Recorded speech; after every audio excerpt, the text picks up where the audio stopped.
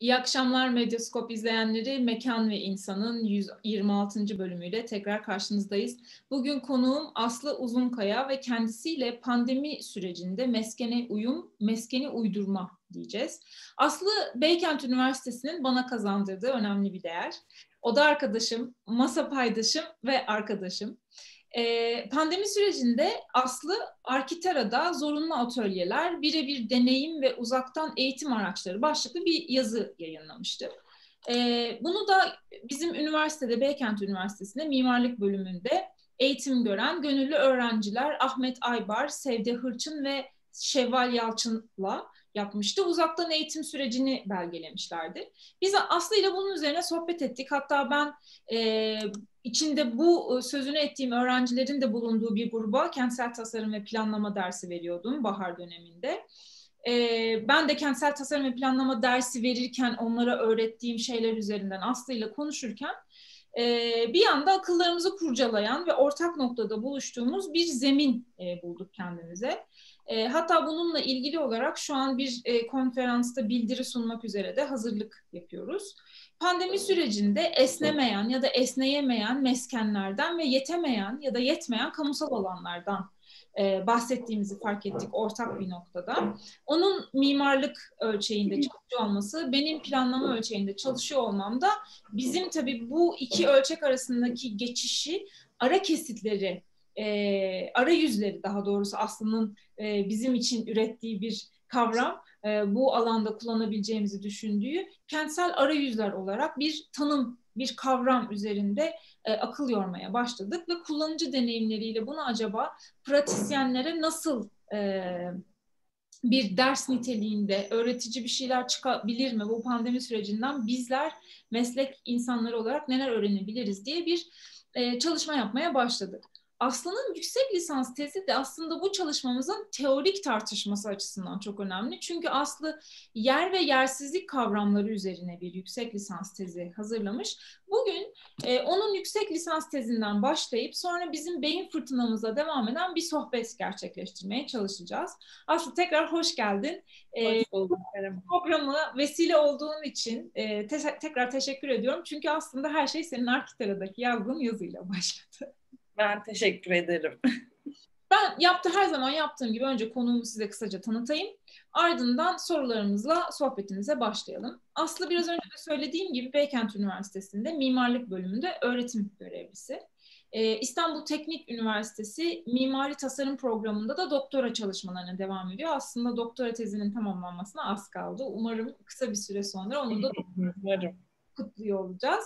Mimarlık lisans eğitimini 9 Eylül Üniversitesi'nde, yüksek lisans bugün aslında sohbetimizin ana temasında oluşturan yüksek lisans eğitimini yer ve yersizlik kavramları üzerine bir irdeleme başlıklı çalışmasıyla Yıldız Teknik Üniversitesi'nde tamamlamış. Ee, akademik kariyerinin öncesinde de mimarlık ofislerinde ve editör olarak da Arkitera Mimarlık Merkezi'nde görev yapmış. E, Aslı genel olarak mimari tasarım bilgisi, mimarlık araştırmaları, tasarım süreci ve araçları üzerine çalışmalar yapmaya devam ediyor. Sevgili Aslı, böyle uzun bir girizgahtan sonra şimdi yüksek lisans tezinde çok ciddi kavramsal tartışmalar yapmışsın. Bu aslında planlama e, alanını da çok ilgilendiren mekan, yer, bu kavramların neye tekabül ettiği ile ilgili derinlemesine bir tartışma var bugün yaşamakta olduğumuz süreçte de tabii e, mesken gibi sınırlandırılmış ve belki tanımı görece daha net olan e, özel alanların kurgusuyla ilgili yeniden düşünüyoruz. Özellikle de biz birlikte bu aralar daha çok yapıyoruz. İstersen, tabii biliyorum bu tartışmaları böyle çok kısa özetlemek kolay değil ama istersen özet olarak hani mekan ve yer arasında e, ki ayrım, kavramsal olarak ayrım tam olarak nereye tekabül eder ve meskenin de tarifini belki yaparsan hani sohbetimizin geri kalanı için bir e, altlık oluşturmaya başlamış oluruz. E, tabii. E, aslında bu mekan ve yer üzerine tartışmalar yani bu ikisinin belki de kıyaslanması, birbirini beslemesi arasındaki ilişki diyebiliriz. E, biraz e, modernizm eleştirisiyle ortaya çıkıyor. E, modernizmin ardından işte sıkça kullanılan e, belirli m, mimari ürünler ya da tasarımlar üzerine geliştirilen eleştirilerle ortaya çıktığını söyleyebiliriz. E, bu da aslında e, çok farklı bakış açıları var tabii. Hani bir takım sınıflandırmalar da yapılabilir ki hani benim test çalışmamda vardı. E, fakat hepsinin hani farklı bakış açıları olsa da hepsinin temelde ortaya çıkışı e, modern mekana dair bir eleştiriyle oluyor. E, bu da aslında şundan kaynaklı bir eleştiri. E, modernizmle birlikte işte mekanın daha soyut bir hale gelmesi, e, birbirinden çok uzak yerlerde ya da işte çok farklı nitelikteki yerlerde dahi olsa e, birbirine çok benzer yapılaşmaların olması, tek tipleşmenin olması, e, belki de biraz insan deneyiminden uzaklaşılması e, daha soyut belki de matematiksel diyebileceğimiz bir hale gelmesine getirilmiş eleştiriler olduğunu söyleyebiliriz dediğim gibi yani e, farklı bakış açıları var. E, bunları ben çalışmamda hani genel olarak şöyle grup gruplandırmıştım. E, öncelikle fenomenoloji burada çok devreye giriyor. E, bu bakışla, bu yaklaşımla e, aslında insan deneyiminin daha ön planda olması gerektiğini savunuyorlar. E, burada tabii e, aidiyet, işte kimlik kavramları, e, bir yere ait olma, yerleşme çok fazla ön plana çıkıyor. Bununla birlikte bölgeselcilik ve eleştirel bölgeselcilikten bahsedebiliriz bu mekanı eleştirip yeri savunan yaklaşımlar içinde. Burada da tabii hani bulunulan yerin tasarladığımız yerin aslında senin dediğin gibi biraz daha kentsel bir bakış açısıyla e, bakıyorum bu gruplandırmaya ben de. E, o yerin belki iklimsel, topografik e, ya da kültürel verilerine daha uyum sağlamayı, hmm, bunları önemsemeyi ön plana çıkaran bir yaklaşım. E, ya da e, işte daha bağlamı aslında bir sistem kurmayı önemseyen e, yapısalcı diyebileceğimiz görüşler var. Yani dediğim gibi hepsinin temel noktası aslında bir yerde insan deneyimini, e, orada yaşayan kullanıcıyı, e, kentliyi de diyebiliriz. E, daha ön plana çıkarması, daha kimlik üzerinden ilerlemesi. E tabii böyle olunca nasıl ki hani e, mekana dair bir eleştiri geliyor, geliyor ve yer ön plana çıkıyor diyoruz. Bunlara karşı da bir takım eleştiriler ortaya çıkıyor. E, aslında tamamen yani yere bağlanmayı önerirken bu yaklaşımlar. Ardından gelen eleştiriler aslında yere bağlanmanın, bu, bu denli bağlanmanın belki de doğru olmayabileceğini, hatta bazen tehlikeli olabileceğini savunuyorlar.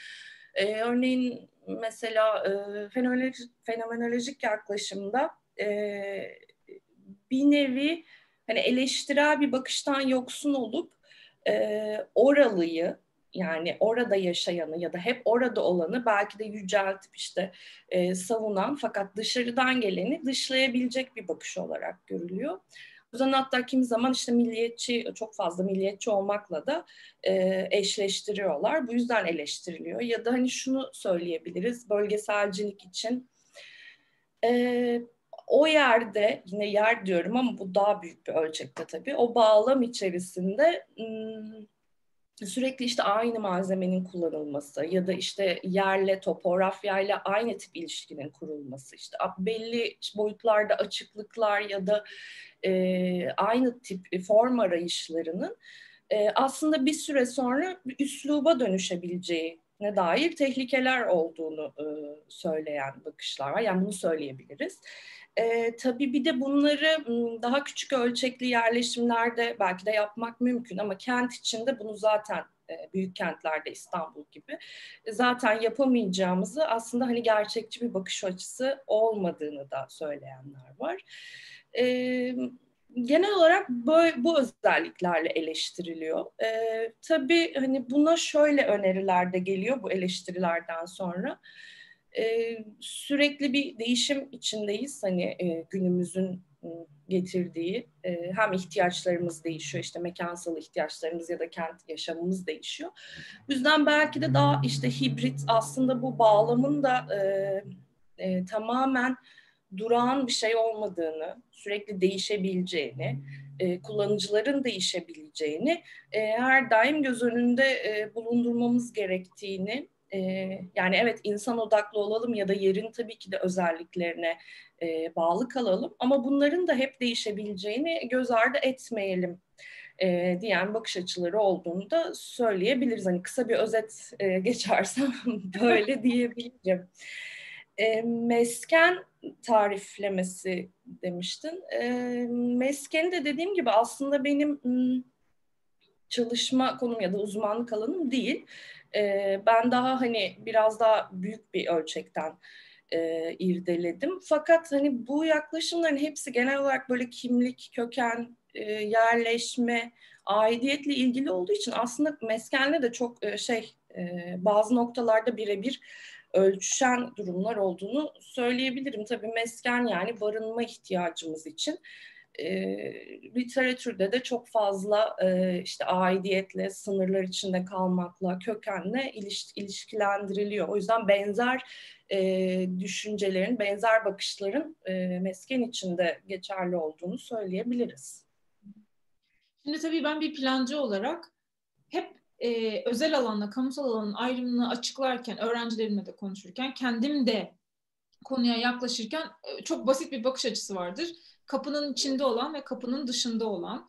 Dolayısıyla mahrem olan ya da kamuya açık olan ya da kendini doğrudan ait hissettiğin, içeri birisinin girmek için senden izin istediği ile herkesin rahatlıkla erişebildiği ve herkesin birbirinden farklı olanların, ötekilerin buluşabildiği yer olarak hani çok kabaca böyle tarif ederiz. Evet. Şimdi e, pandemi süreci senin biraz önceki hani e, tanımlarında da söylediğin gibi kullanıcı değişen bir şey dedin. Dolayısıyla e, tüm bu tariflemelerimizin de ihtiyaçlara göre, duruma göre ve kullanıcı aslında buradaki en önemli özne, mekanın da iç, e, anlamlandırılması en önemli özne olduğuna göre e, aslında bir noktada onların ihtiyaçları en önemli e, tarifleme parametresi gibi algılıyorum ben ve biz ikimiz de zaten senle bu noktada dedik ki pandemi süreci bunun için önemli bir e, dönüşüm noktası olacak. Yani bizim şimdiye kadar içerisinde yaşadığımız e, sınırlı alanlar ya da kamusal alanların biçimlenmesiyle ilgili olarak yeniden düşünmeye başlayacağız. Keza ikimiz de gördük ki e, insanlar yaşadıkları mesken sınırları içerisinde zaman e, geçirdikleri zaman arttıkça onlar da burayı uymaya ya da buna uymaya kendilerini uydurma konusunda da farklı yöntemler izlemeye başladılar. Ee, ama bunun tabii literatürden de e, buna bir bakış açısı var. Yani literatür de bu konuyla ilgili bir şeyler söylüyor. Hani bizim kendi görüşlerimiz ve değerlendirmelerimizden önce meskene dair ne gibi farklı düşünceler var ve modern kentlinin meskeni bir mimar olarak sen tarifleyecek olsan düşünce sistemlerinde yani bu düşünce sistemlerinde tam olarak nasıl bir yerde konumlanıyor? Ee, aslında az önce de söylediğim gibi bu mekan ve yer arası ilişkiye çok benzer bakışlar var diyebiliriz.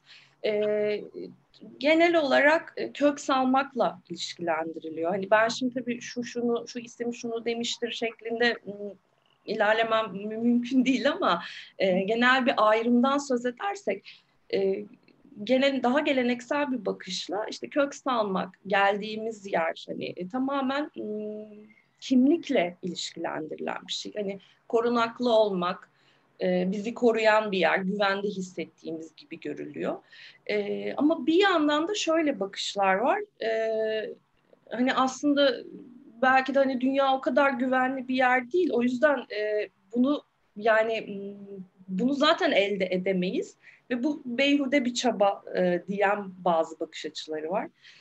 E, ya da hani daha e, aslında yaşadığımız çağın e, normal bir yerleşim e, yerleşmeye müsait değil de daha e, hani senin de aslında şeyin e, uzmanlığın daha böyle göç çağı, insanların sürekli hareket ettiği e, bir çağ olarak görülüp o yüzden meskenin de e, buna e, olanak tanıyan bir yapıda olması gerektiğini savunanlar var. Ya da aslında bunlar e, tam olarak fiziksel böyle bir e, şey değil de fiziksel karşılığı olan durumlardan ziyade daha teorik bakış açıları tabii ki de.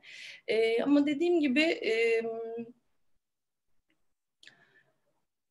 işte göç etmeyi, sınırların daha bulanıklaştığı, hani belki de biz konuta dair evet deneyimi önemsiyoruz. İki bakış açısı da deneyimi önemsiyor ama biri o deneyime orada kök salalım derken diğeri de hani belki de biz deneyimimizi cebimize koyduk ve gittiğimiz yere götürdük. Hani bunun aslında olması gerektiğini, buna mecbur olduğumuzu söyleyen bakışlar var. Ee, tabii bir yandan burada da daha hibrit şeyler de var yani. Yine aslında yine bir yer ve mekan ilişkisine burada bunu da benzetebiliriz. Daha hibrit, hani biz gittiğimiz yöne bakalım, kökenlerden ziyade hani şu an ne olup bitiyor, neler deneyimliyoruz ve bunu odağımıza alalım diyen bakış açıları da var. Hani bunu çok kabaca böyle bir ayrım olduğunu söyleyebiliriz. Hani benzer konular gibi.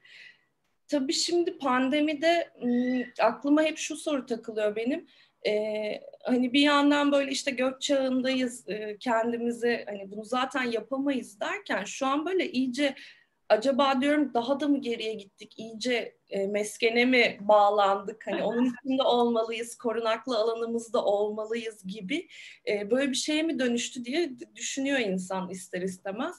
Bu da tabii muhtemelen hani özellikle Türkiye için ya da dene, şu an deneyimlediğimiz İstanbul için bunu söylemek mümkün. Ee, işte kamusal alanda belki kendimizi o hani korunma şeyi dedik ya e, mesken için. E, bunu e, yapamadığımız için ya da işte bunların yetersizliği ya da kentsel politikalardaki bir takım belki eksiklikler e, yüzünden olabileceğini de düşünüyorum. Hani daha da belki de bağlanacağız bundan sonra ya da işte form değiştirecek bilemiyorum. Bir değişim olacağı kesin hani e, şu an e, ama bu nasıl bir yönde ilerleyecek e, onu e, henüz göremiyoruz. Ya aslında onu bir noktada bizler düşüneceğiz, belki araştıracağız ve pratisyenlere bir şeyler sunacağız ama dediğin gibi bir noktada ben burada akademisyenin de görevini kullanıcı ile pratisyen arasındaki bir e, şey evet. köprü olarak da görüyorum. Keza biz mevcut hali hazırdaki pratisyene de bir şey sunuyoruz ama bir yandan e, ikimizin de e, hani akademisyenliğin en önemli e, taşlarından bir tanesi de eğitim de veriyor olmak. Yani yeni pratisyeni de eğitiyoruz bir yandan. Evet, burada sana şöyle bir soru sormak istiyorum. Hani hakikaten aslı olarak e, kişisel görüşünle hem bir mimar hem de mimarlık öğrencilerine eğitim veren bir akademisyen olarak baktığın zaman pandemi sence bize ne sunuyor? İçinde yaşadığımız mekanlar, e, modern dünyada bize sunulan mekanlar e, büyüklük olarak e, işte biraz önce söylediğin tüm kavramlar üzerinden aidiyet yani kendini oraya ait hissetmenle ilgili olarak mahremiyetini korumayla ilgili olarak daha çok evde vakit geçirilen yani sadece çünkü bu Aslı sadece tek başına evde daha çok vakit geçirmiyor. Hayatının öyle bir dönemi geldi. Doktora tezi yazıyor. Evde geçiriyor değil. Bütün komşularıyla birlikte evde vakit geçiriyorsun. Yani apartman belki hiçbir zaman bu kadar çok insanı aynı anda ağırlamamıştır. Evet sadece o bağımsız birimlerin içinde değil. Böyle baktığımız zaman pandemi sence bize ne sunuyor? Yani e, soru işaretleriyle birlikte de bırakabilirsin bunu. Belki bazı gözlemlerin, net bazı çıkarımların varsa belki onlardan da paylaşmak Ee, yani şey gibi geliyor aslında biraz senin bahsettiğin gibi bizim e, çalışmamız için biraz kafa yorduğumuz bir konu e, ya da gözlemlemeye çalıştığımız bir konu. Ama az önce şey dedin ona kesinlikle katılıyorum. Sen de aslında onu kamusal alanı e, tanımlamak için söyledin. Hani iç ve dış arası e, işte ayrımdan bahsettin ama bu şu anki halimizi de o çok e, etkiliyor. Daha doğrusu o durumdan çok etkileniyoruz gibime geliyor. Hani bu iç ve dış arası ilişki hani biz e, belki de bir ara faz e, arayüz gibi ele alıyoruz bunu aslında. E, tamamen bir yandan fiziksel bir şeyken, fiziksel bir durumken bir yandan da da yani fiziki olmayan psikolojik tarafı da var gibime geliyor. Hani fiziksel olarak e, tamamen dışa açılmayla ilgili bir durum. Yani işte konutumuzun nerede olduğundan tut e, hani dışarı rahatça çıkabiliyor muyuz ya da dışarı çıktığımızda bizi ne bekliyor işte e, yürüyüş mü yapıyorum, işte bir caddeye mi açılıyorum gibi bunlar aslında önemli kazanıyor. Yani her daim önemli olan şeyler ama şu an çok daha fazla e, herkesin işte buna dikkat ettiği bir dönem haline geldi. E, ya da işte dediğin gibi evde vakit geçiriyoruz. evden çalışıyoruz ya da işte öğrenciler evden eğitim alıyor gibi. E, bu evin içindeyken dışarıyla kurduğumuz ilişki nasıl işte hem görsel olarak hem ya da belki de ses açısından. E, bunlar tabii çok önemli hale geldi. E, bazı işte dışarıyla kurduğumuz temaslar bunlar yine hani seninle çalışma için konuştuğumuz şeyler aslında. Direkt konutun içine mi giriyoruz yoksa işte bir müstakil bir yerde miyiz işte bir rüzgarlığımız mı var yoksa apartmanda mıyız? Ee, dışarıdan hani ilk temas konutta mı oluyor mesela? E, bu şey bir ara şimdi o kadar yok galiba ama en azından ben bıraktım öyle yapmayı. İşte dışarıdan bir şey aldıktan sonra onu böyle bir dezenfekte etme vesaire. Bunlar aslında hepsi böyle bir şey haline geldi. Hani kapıyı açıp pat diye salona mı giriyorum ben yoksa böyle bir holüm mü var burayı nasıl kullanıyorum falan. Bunlar böyle herkes için artık düşünmeye başladığı şeyler haline geldi. Hani herkes dediğim e, kullanıcıdan bahsediyorum burada. Hani bizim zaten nereden düşünmemiz gereken şeyler de e, işte bu dışarıyla kurduğumuz hani konutun böyle kapalı bir şey olmaktan ziyade dışarıyla kurulan ilişki daha çok e, ön plana çıkmaya başladı. Hani iç dış dediğimizin fiziksel boyutu. Bir yandan da fiziksel olmayan e, boyutu da şey gibi geliyor bana. E, bizden başka hani kendimizden bireysel olarak bizden başka hani konutu kimle birlikte kullanıyoruz? Sonuçta hani çok fazla vakit geçirdiğimiz için belki de kendimize dair bir e, ayırdığımız vakti de burada geçiriyoruz ama bir yandan işte çalıştığımız vakti de burada geçiriyoruz. O yüzden e, başkasıyla kurulan ilişkide de iç dış e, önemli hale geliyor sanırım. Ne bileyim işte bir çalışma odası var mı? İşte e, ya da işte yaşam alanı ne kadar büyüklükte hani çok fazla şeye ihtiyaç duymaya başladığımızı gördük ve belki de metrekareler bile yetmeyecek hale gelebildi. Ee, daha böyle paket küçük konutlar varken şimdi böyle e, daha geniş alanlara ihtiyaç duyuyoruz. Yani belki sadece fiziksel olarak değil daha ferah bir hale gelebilmek için hani psikolojik olarak da biraz daha geniş alanlara ihtiyaç duyduğumuz söylenebilir. E, o yüzden böyle bir e, ikisinde de hani e, iki her iki türlüde de e, kurulan ilişki e, dışarıyla kurduğumuz ilişki önemli hale geldi e, diyebiliriz. E, esnek olması da önemli tabii bu açıdan. Hani nasıl uyarlayabiliyoruz? Kullanıcı deneyimi yani kullanıcının e, konuta kattığı şey ya da yaptığı müdahaleler çok daha ön plana çıktı. Herkes şimdi sanıyorum birçok insandan duydum çünkü işte bazı bölmeler, işte ek alanlar, işte çalışmak için köşeler vesaire. Çünkü hani bir evde yaşayan diyelim ki anne baba çocuk işte ikisi bir şekilde e, çalışıyorsa ve biri de eğitimini evde alıyorsa hani bu şu demektir küçük bir çekirdek aile için bile üç kişiye ayrı çalışma mekanı ihtiyacı. E, yani birçok insan da bunu kendi şeyiyle uyarlamaya çalışıyor sanıyorum. E, o yüzden kullanıcının e, şu anki deneyimlediği şey yani maruz kaldığı belki de hani uyma ya da uydurma durumu o yüzden e, muhtemelen yani önemli hale geldi. E, biz de biraz bunu hani belki de sindirip bir gözlemleyip e, onun üstüne bir şeyler üretebiliriz. E, ben bir sonraki soruma geçmeden önce söylediklerinde öyle şeyler yakaladım ki birkaç soru daha belki açarız diye sormak isterim. Tamam sizin bu Arkitera'daki yazınızda e, çok güzel tespitlerinizden bir tanesi bu ekran önünde olma durumu ile ilgili. Evet. Açık olduğu anda şu an mesela işte sen ders veriyorsun ya da bir öğrenci olarak dersi dinliyorsun ve bir sebepten dolayı da ekranın açık belki sunum yapacaksın.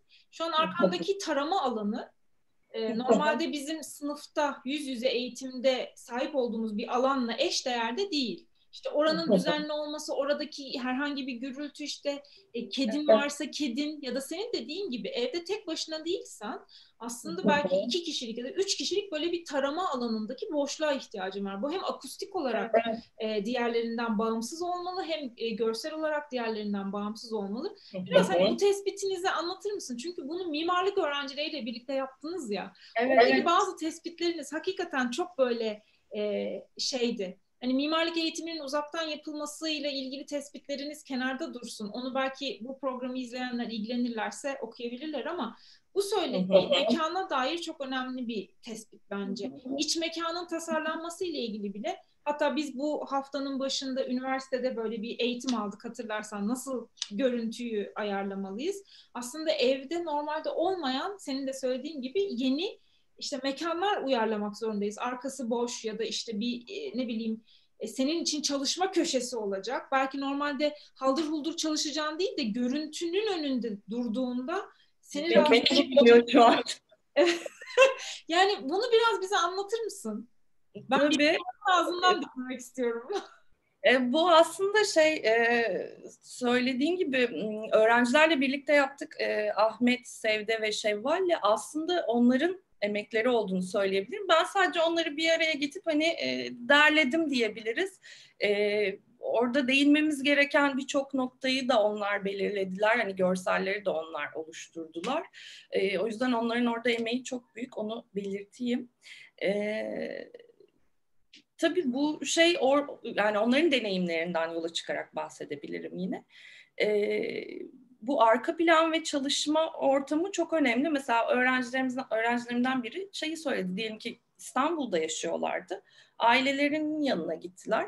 Mesela odam yok burada dedi. Çünkü hani genelde şey olur ya evden bir şekilde gittin o oda başka bir şeye dönüştü belki de yani ihtiyaçtan dolayı. E, o yüzden mesela odam yok dedi bir yerde bir masayla işte idare ediyor ama ondan sonra muhtemelen ona başka bir şey yaptılar, bir çözüm buldular diyelim ki. Ya da işte dediğin gibi arka planda derli mi, toplu mu, düzenli mi, işte kamerayı açtım, bir şey, biri mi geçti, bir şey mi oldu? Ee, bunlar hep ön plana çıktı. Ee, Birçok şey görüyoruz görsel böyle hani insanların e, taradığı alan senin dediğin gibi hani çok derli toplu ama diyelim ki şu tarafa baktığında orada bambaşka bir dünya var ve onlar görünmüyor gibi. ee, işte bu aslında şey haline geldi bence. Hmm, bir yandan böyle başlangıçta hani Aa, evdeyiz belki iyi bir şey gibi görünüyordu ama e, hayatımızı kolaylaştıran bir şey olmadı hani gördük ki. E, aksine zorlaştırdığını düşünüyorum ben. E, çünkü hani bir ayrım vardı. Hani ev ve yani dış dünya diyelim hani çalışmak üzerinde konuşursak. Ee, ama artık ikisi öyle bir harmanlandı ki yani sadece hepimizin de o kadar büyük evleri yok. Ee, yani sadece ona ayrılmış bir alana ihtiyaç duyduk.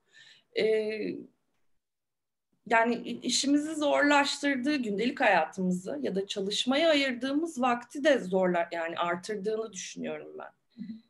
Ee, yani evet belki yolda o vakti geçirmiyoruz ama işte evin düzenlemesiyle vesaireyle bunu e, şey yaptığını düşünüyorum. Süreyi de artırdığını düşünüyorum.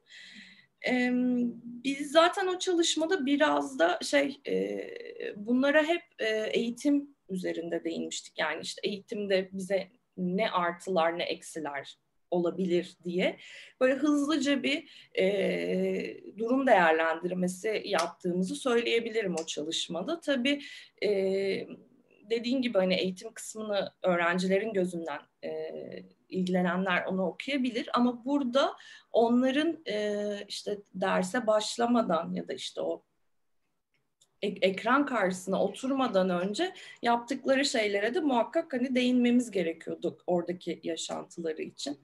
Tabii işte bu sesin duyulmaması, kulaklık, e, arka tarafın derli toplu olması gibi şeyler aslında hani çoğu senin e, bahsettiğin durumlar hani onların deneyimlerinden yola çıkarak bizim de ulaştığımız tespitler bunlardı dediğim gibi bu hani bir durum değerlendirmesi şeyiydi. Çünkü böyle bir bunu yorumlamak için çok erken olduğunu düşündüğümüz bir dönemde yaptık. O yüzden sadece hani bu bir durum değerlendirmesi diyerek onların ilk deneyimlerini paylaşmıştık. Bence çok keyifliydi. Hatırlarsan biz derste bunun üzerine tartışmıştık. Evet. E, bu tip hani ilk beyin fırtınalarının bile kamusal e, alanda yapılmasını o yüzden değerli buluyorum. Yani Arkitera'da yayınlanmış olması aslında o evet. gelen soruları e, daha büyük bir kitleyle paylaşmak demekti. Evet. Oradan e, o ilerliyor böylelikle. Benim sorularım bitmedi Aslı. E, şimdi ben şöyle düşünüyorum. Şimdi bizim yaşadığımız konut alanları e, bu arsa değerlerinin artması, gayrimenkul sektörü, e, küçülen hane halkı vesaire derken çok başka boyutlara gitti. E, hali hazırda yani 20-30 sene önce e, konut tasarımında var olan birçok alan bir anda yok oluverdi ve biz aslında farkına bile varmadan onlarsız yaşamayı bir şekilde alışmışız. Ama konut alanı hakikaten özellikle İstanbul gibi büyük şehirlerde insanın eve neredeyse sadece uyumaya gittiği ve e, evinde minimum vakit geçirdiği yerlerde biz 24 saatimizi ve tüm eylemlerimizi yapmak zorunda kaldık. Yani şu an deminden beri hep çalışmak diyoruz ama biz spor da yaptık burada. Belki hala yapıyoruz. E, işte normalde belki e, yeni normalleşme sürecine geçmeden önce arkadaşlarımızla sosyalleşmemizi de buradan yaptık. Yani sadece e, bunu bu ortamı, görüntülü ortamı sadece şey yapmak için değil, e, dışarıda normalde bir kafeye ya da bir bara gideceğiniz yerde bunun önüne geçip yemek evet. yedik. Bu da yaptık. Hı hı. Dolayısıyla ev ve konut alanı yani o sınırlı özel alan bir mahremden çıktı. Çünkü evet. şu an dahi bana gösterdiğin tarama alanı da olsa ben senin evinin içine davet ediliyorum. Evet. Burası çalışma alanın aynı zamanda. Fakat burası biraz sonra kapattığında belki bir şeylerin yeri değişecek. Senin e, spor alanın olacak. Sonra senin kendi doktora tezini yazmak için ürettiğin çalışma alanına dönüşecek. Evet. Sonra belki biraz sonra yemek yapacaksın vesaire vesaire. Böyle bir döngü var burada. Hı hı. Böyle baktığımız zaman bu yaşadığımız konutlar 24 saat ve tüm eylemler içinde barındırmaya uygun mudur? Uygun tasarlanmış mı? Yoksa değişmesi gereken hakikaten çok şey mi var? Yoksa bu pandemi sürecini böyle çok e, ekstrem bir durum olarak algılayıp çok da kale almamalı mıyız? Yani sen hangi noktada duruyorsun? Hmm. Biraz onu merak ediyorum. Ee, yani tam sen bunu sorarken şimdi mesela ben çok da bilgi vermiş oluyorum kendimle ilgili ama zemin kattayım. Şimdi mesela buradan insanlar geçiyor. Belki de duydun sesleri bilmiyorum. Şeyler duydum. evet.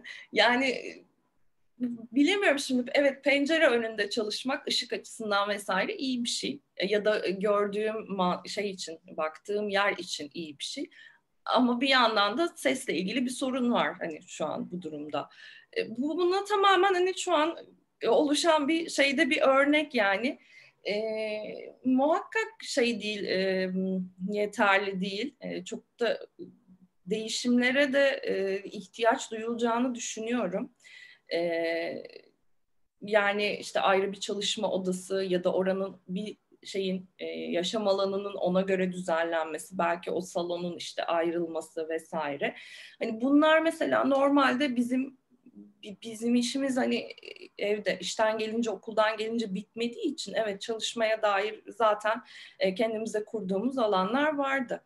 Ama şimdi diyelim ki bir bankada çalışan bir insan da artık evden çalıştığı için onların hayatında hiç olmayan bir olguydu belki de bu gelip çünkü müşterisiyle evinde konuşmuyordu.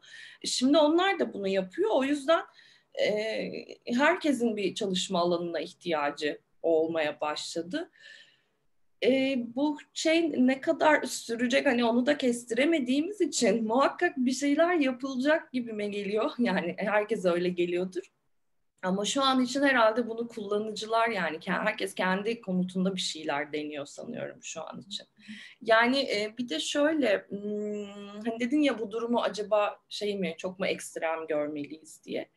Aslında bakınca bütün bu işte mimarideki belki de dönüşümler diyebiliriz. Böyle hep ekstrem durumlardan çok radikal şey olaylardan etkilenerek olmuş. Diyelim ki e, endüstrileşme sonrası işte kentte böyle nüfusun artmasıyla konuta duyulan işte ihtiyaçlarla işte seri üretimlerin olması, bu dikey blokların çok fazla ön plana çıkması gibi işte afettir, salgındır vesaire aslında böyle radikal şeylerle olmuş dönüşümler ee, ki aslında bu e, tip yerleşimlerin eleştirisi hani benim tez çalışmamda da, da bahsettiğim şey. E, o yüzden bu evet çok ekstrem bir şey ama bir yandan da yaşadığımız zaman hani o zamanki e, o dönemki salgınlar gibi ya da afetler gibi bir şey de değil bu. Hani farklı bir şey yaşıyoruz. E, muhakkak etkisi bir şekilde olacak diye düşünüyorum ama bunun da e, biraz daha böyle e, seninle yaptığımız çalışma gibi hani böyle gözleme dayalı kullanıcının e, yaptığı, deneyimlediği şeylere e, odaklı ve oradan yola çıkmasının önemli olduğunu düşünüyorum. Hani bunu insanlar nasıl deneyimledi, farklı ortamlarda, farklı e, açılardan bakıldığında nasıl deneyimlediler? Hani bunun önemli olduğunu düşünüyorum, irdelemenin. Bir sorun daha var sonra seni rahat bırakacağım söz Şimdi bizim seninle en çok sohbet ettiğimiz konulardan bir tanesi de tabii bir plancı bir mimar bir araya gelince ne konuşur? Özelden kamusala geçerkenki sıkıntılar. E, bu aslında ikimizin de eğitimini aldığı disiplinlerde de çok net gördüğümüz bir şey. Planlamanın başladığı e, yerde mimarlık bitiyor, mimarlığın e, bittiği yerde planlama başlıyor gibi bir bakış açısı var. Bu yazık ki öğrencilerimizde de var. Aynı şey iç mimarlık, mimarlık içinde de görüyoruz. Oysa ki bence pandeminin herhalde bize gösterdiği en önemli şeylerden bir tanesi Özel'in e, o kapının yani biraz önceki yaptığım tarifin yanlış olduğunu yani hani kapının içerisi dışarısı ile bitmiyor o iş. İşte biraz önce tariflediğin gibi işte şu an pencerenin önünden birisi geçiyor. Aslında orası özel alan mı, kamusal alan mı tartışmasının başladığı bir noktadayız. Bir de tabii şehirlerimizin e, farklı bölgeleri, farklı alanları farklı şekilde e, gelişmiş. Yani bitişik nizam e, farklı fonksiyonların bir araya geldiği yani karma kullanımlı ve e, nüfus yoğunluğunun yüksek olduğu yerleşim alanları var. Buradaki kamusal alan ihtiyacı çok farklı. Ama işte senin ya da benim gibi ayrık nizam bir yerde dolayısıyla bahçenin önünden ya da evinin önünden işte çimenin geçtiği dolayısıyla hani kamusalın hemen evinin önünden ulaşma biçimleri var. Ee, tek cepheden ışık alan, hiç balkonu olmayan, hiç açıklığı olmayan yeni yeni çok yüksek rezidanslar var vesaire vesaire. Hani tüm bu farklı hani binanın kendi e, yapılaşma biçimi, e, bağımsız birimlerin iç tasarımı kadar kamusalla ya da birbirleriyle olan ilişkilerinin de ne kadar önemli olduğunu gördük. Belki bu noktada da e, hem çalışmamızla ilgili ufak bir e, virüs insanlara atmış oluruz. derler.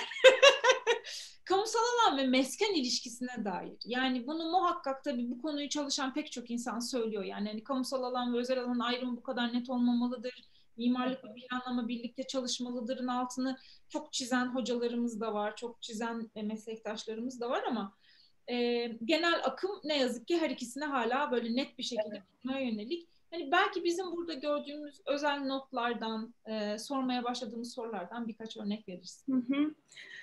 Ee, yani evet aslında senin de söylediğin gibi ya da benim hani bu iç ve dış arası ilişkinin o ara arayüzün e, önemi burada çok fazla ortaya çıkmaya başladı.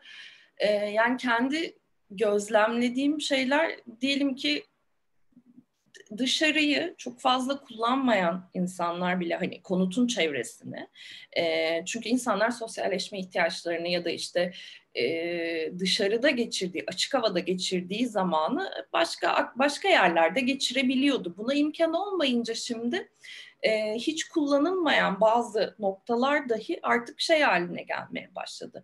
Mesela kendi gözlemim bu birkaç hafta sokağa çıkma yasağı olduğu zaman e, insanların sürekli dışarı çıkma e, şeyinde e, çabasında olduğunu gördüm yani hani nasıl olsa apartmanın çevresinde ve burada bir yasak yok gibi e, herkes böyle sürekli dışarıda vakit geçiriyordu aslında yasaklar bittikten sonra etrafta o kadar o insanlardan görmemeye başladım.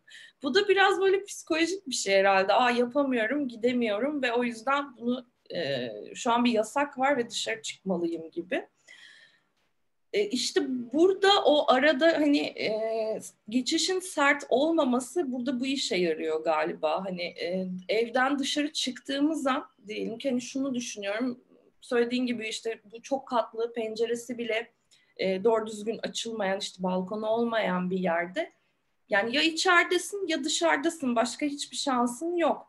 E, insanların hani üstünde hani psikolojik etkisi de çok fazla e, oluyor tabii bu durumda. E, herkes bir şekilde şey kendini atmaya çalışıyor dışarıya. E, hani balkondan hava alamıyor ya da işte görsel bir şeyi yok penceresinden dışarı baktığında belki direkt karşı apartmanı görüyor. E, o yüzden böyle bu geçişler çok keskin olduğu için e, yani hem fiziksel olarak hem de ruhsal tabii çok etkisi olduğunu gördük hepimiz. E, o yüzden hani bu dışı konutun bir yandan hani çok böyle içe kapanırken hani ilk şeyden bahsetmiştim hani daha da mı böyle o diğer görüşlere göre daha da mı giderek konuta bağlanıyoruz? Hani kendimizi orada mı var etmeye çalışıyoruz? Hani korunmaya çalışıyoruz bir şekilde de. Ee, ama bir yandan da dışarı çıkmak istiyoruz. O yüzden o şeyler e, aradaki yerler yani ara faz bu ara e, eleman elemanlar da demeyeyim mekanlar e, çok daha önemli hale geldi. E, bununla birlikte e, Şimdi bazı ülkelerde tabii nüfus vesaire de çok önemli bunda. E, ama bazı ülkelerde de hala işte insanların e, rahatça e, kamusal alanları vesaireyi kullanabildiğini de gördük hani bu pandemi sürecinde. E, bizim belki de hani kamusal alan yetersizliğimiz e, ya da hakikaten nüfusun çok fazla olması gibi hani bunu e, bizim o kadar e, o hani en arttığı dönemlerde aslında şimdi de çok yoğun bir şey e, içindeyiz ama e, çok fazla yapılamadığını gördük. O yüzden e, kesinlikle bu şey e, ara mekanlar e, önemli hale geldiğini düşünüyorum. Zaten hani çok yine benim uzmanlık alanım değil ama e, işte bu konut şeyleri birçok insanın taşınması işte e, evde olacaklarını uzunca bir sürede evde olacaklarını düşündükleri için e, ona göre belki işte daha bahçeli ya da işte e, daha fazla açıklığı olan çevresiyle teması e, daha hani sınırları belki de daha bulanık yerlere taşındığını gördük. E, ya da konut fiyatlarının ona göre değiştiğini bu durumdan etkilendiğini gördük. Yani böyle bir hızlı bir düzen e, kurmaya e, çalışıp buna adım atan e, hızlı adımlar atan insanlar olduğunda hani kendi çevremden de e, görüp duydum. E, o yüzden e, bu e, hani dışarı çıktık adımımızı attığımızda ne oluyor ve nereye düşüyoruz biz e, iyice daha da fazla önemli hale geldi. E, onu gö- gözlemlediğimizi söyleyebilirim. Çok teşekkür ediyorum sevgili Aslı. Eklemek istediğin bir şey yoksa ben bugünkü sohbetimizi burada tamamlamayı e, zamansal olarak ne yazık ki e, zorundayım. Var mıdır eklemek istediğin bir şey yoksa bundan sonra çalışmamız bitince mi konuşuruz? Ya, evet, evet olabilir. Ben çok teşekkür ediyorum. Ee, çok güzel bir sohbet gerçekleştirdi. Gerçi, e, gerçi hep yaptığımız şey ama şimdi burada Evet gerçekten genelde yaptığımız bir şey bir de izleyenlerin önünde yapmak ayrı bir keyif verdi bana. Teşekkür ederim. Çok sağ ol. Gelecek hafta pazartesi günü Mekan ve İnsan'ın 127. bölümünde sinema yazarı Barış Saydam'ı ağırlayacağım ve kendisiyle salgın hastalıkların sinemadaki temsilleri üzerine bir sohbet gerçekleştireceğiz. Daha fazla mekan ve insan tartışması ve sohbeti için Mekan ve İnsan'ın insanın Instagram ve Facebook hesaplarına e, hesaplarını takip etmeyi ve YouTube kanalına abone olmayı ihmal etmeyin. İyi akşamlar.